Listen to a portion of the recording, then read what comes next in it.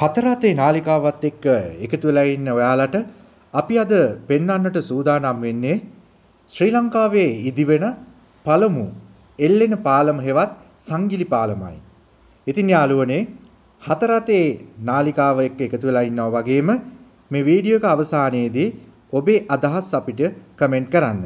ඒ වගේම වීඩියෝව තව කෙනෙකුට දැක බලා ගැනීම සඳහා ෂෙයා කරන්න. ඒ වගේම හතර අතේ නාලිකාව සබස්ක්‍රයිබ් කරන්නටත් අමතක කරන්න එපා. ශ්‍රී ලංකාවේ ඉදිවන පළමු එල්ලෙන පාලම හෙවත් සංගිලි පාලම කැලණි ගම් මිටියාවතේ පෑලියගොඩ වටරවුමේ සිට ඔරුගොඩ වත්ත දක්වා කැලණි ගඟ හරහා ඉදිවන මෙම කැලණි පාලම දිගින් මීටර 380ක් පමණ වන අතර මන්තීරු 6කින් සමන්විත වේ. කොන්ක්‍රීට් සහ වාහනේ යොදා ගනිමින් ඉදිවන මෙම පාලම ජපන් සමාගමක් විසින් ඉදිකිරීම් කටයුතු සිදු කරනු ලබයි. මෙම පාලම ඉදිකිරීමේදී පාදම යොදා ඇත්තේ මීටර 23ක් ගැඹුරිනි. ඒ සඳහා විශාල කොන්ක්‍රීට් ප්‍රමාණයක්ද යොදා ඇත. කේබල් මතින් එල්ලා තබන මෙම පාලම සඳහා පොළව මට්ටමේ සිට මීටර 40ක් පමණ උසින් යුක්ත කුළුණු හතරක් භාවිතා වෙනවා. කේබල් 96කින් මෙම පාලම එල්ලා ඇත. මේ සඳහා යොදාගෙන ඇති කේබල් සියල්ලේ බර ටොන් 196ක් පමණ වෙනවා. පාලම සඳහා කම්බි ටොන් 6000ක් භාවිතා කර ඇති අතර කොන්ක්‍රීට් කියුබික් මීටර් 35000ක් පමණ භාවිතා කර ඇත. මෙම පාලම සඳහා ඇස්තමේන්තුගත මුළු වියදම රුපියල් බිලියන 9.7ක් පමණ වන බව සඳහන් වේ.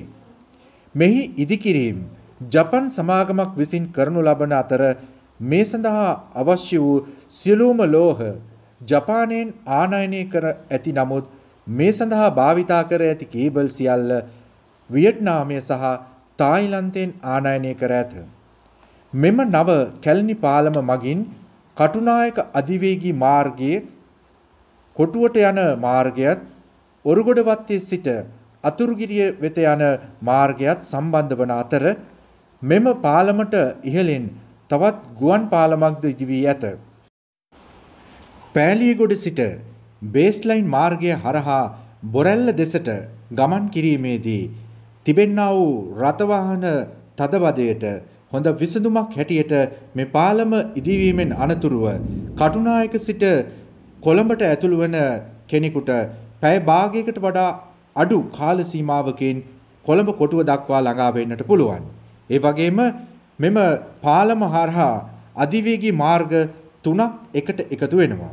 විශේෂයෙන් මේ අධිවේගී මාර්ග තුන එකතු වන ස්ථානය මේ පාලමට උඩින් තවත් ගුවන් පාලමක් ඉදි වී තිබෙනවා.